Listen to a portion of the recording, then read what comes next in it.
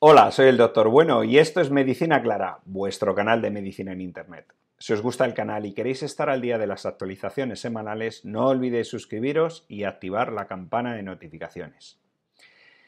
Seguro que cuando habéis estado viendo vídeos en el canal y hemos estado hablando de enfermedades oncológicas, pues, eh, cáncer de pulmón, cáncer de próstata, cáncer de mama, los signos para detectar precozmente un cáncer de colon, todos estos vídeos los podéis ver en el canal, me habéis estado escuchando hablar sobre metástasis. E incluso muchos de vosotros me preguntáis, oye, que a mi padre pues, le han diagnosticado de unas metástasis, de un cáncer, ¿esto qué significa? Bueno, pues hoy vamos a hablar de eso. ¿Qué son las metástasis?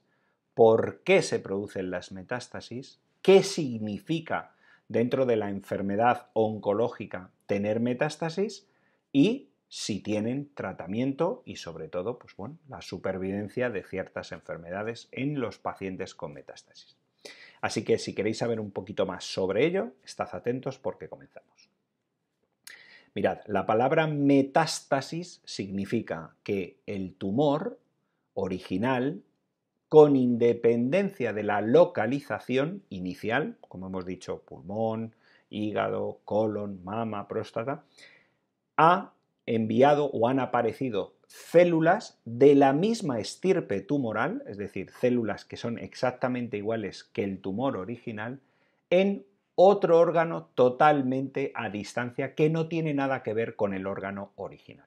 Por ejemplo, es frecuente que eh, los pacientes con cáncer de próstata hagan metástasis en el hueso o los pacientes con cáncer de recto, de colon y recto, hagan metástasis en el, en el hígado, o los pacientes con melanoma, que es el tumor de la piel, hagan metástasis en el pulmón, por ejemplo, ¿no? Hay diferentes tipos y algunos de ellos pueden hacer metástasis en diferentes sitios.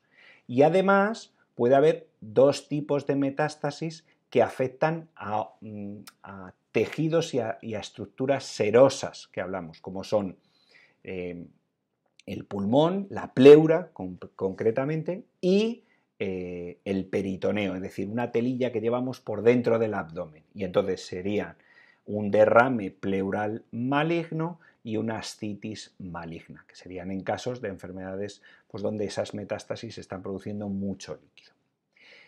Por regla general y por lo que estáis escuchando, entenderéis que cuando te dan un diagnóstico de metástasis, ya sea en el progreso de una enfermedad oncológica o de inicio, que puede haber diagnósticos de inicio pacientes con metástasis, no es una buena noticia, porque quiere decir que la enfermedad está diseminada. Por lo tanto, su control es mucho más difícil. No es que sea imposible, porque de hecho hay tratamiento tanto quirúrgico como quimioterápico y radioterápico de las metástasis, pero de inicio es mucho más difícil y la estrategia que debemos seguir, pues tanto los cirujanos como los oncólogos, en el manejo de esa enfermedad en ese paciente concreto, pues es más complicado. ¿Por qué se producen estas metástasis? Se producen porque las células tumorales o a través del sistema eh, eh, linfático o a través de los vasos sanguíneos, esas células llegan a otros puntos donde tienen unos ciertos receptores y esas células se forman ahí y vuelven a, formar un tipo de tumor parecido al tumor original. Y las células son las mismas, por eso ocurre esa metástasis. Hoy en día sabemos que además se producen una serie de moduladores de información genética y de, información mm, de la homeostasis interna que eh, hace que haya ciertos cambios y ciertos cambios en algunas células para que se produzcan esa metástasis. Pero eso ya es muy complicado y está fuera del, del canal. Por lo tanto, estas metástasis, ¿cómo se diagnostican? Se diagnostican sobre todo por pruebas de imagen, es decir, pues por el TAC, escáner, resonancias nucleares magnética, ecoendoscopias, endoscopias, etcétera, etcétera, y otros tipos eh, de, de, pruebas de imagen, pero fundamentalmente lo hacen los radiólogos. Al, eh, durante el estudio de la enfermedad van viendo ese tipo de metástasis. Más cosas. ¿Tienen las metástasis, producen algún tipo de síntomas? Pues mirad, algunas sí y algunas no. No es lo mismo tener una metástasis única, por ejemplo, en el hígado, que tener pues, más de 100 metástasis óseas ¿eh? en los huesos, porque, por ejemplo, esas metástasis óseas pueden producir dolor, pueden producir eh, roturas de los huesos, en el hígado, pues dependiendo del número, puede producir una insuficiencia hepática, en el pulmón puede provocar problemas respiratorios, etc. Por regla general, las metástasis no dan síntomas y lo que suelen producir sobre todo es mucho cansancio, pérdida de apetito, pérdida de peso y cansancio. ¿Tienen tratamiento las metástasis? Pues cada día más tratamientos y cada día podemos abordar las metástasis de una manera mucho más curativa. Es cierto que hay algún tipo de metástasis, sobre todo cuando es por una progresión de la enfermedad, donde los tratamientos, tanto médicos como quirúrgicos, pues no han terminado de ejercer el efecto terapéutico que deberían tener, eh, esos tratamientos suelen estar mucho más limitados. Pero en algunos pacientes donde hay un diagnóstico de entrada y podemos ver, por ejemplo, cáncer de recto y tiene una metástasis única en el hígado. Pues se pueden tratar tanto el cáncer del, recto como la metástasis única de forma quirúrgica y el paciente tendría, bajaría su eh, y aumentaríamos su supervivencia como si no tuviera ya ningún tipo. Obviamente siempre hay que hacer controles y seguimiento por parte de los servicios de oncología médica y oncología radioterápica.